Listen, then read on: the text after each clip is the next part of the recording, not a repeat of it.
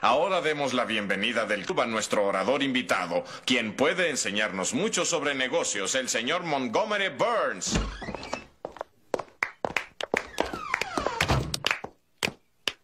Necesitamos que los empresarios entiendan que el mejor negocio del mundo es tener gente pobre con capacidad de consumo, porque los pobres consumen toda la plata. ¿Preguntas? ¿Y quiénes son esos? Pues los empresarios.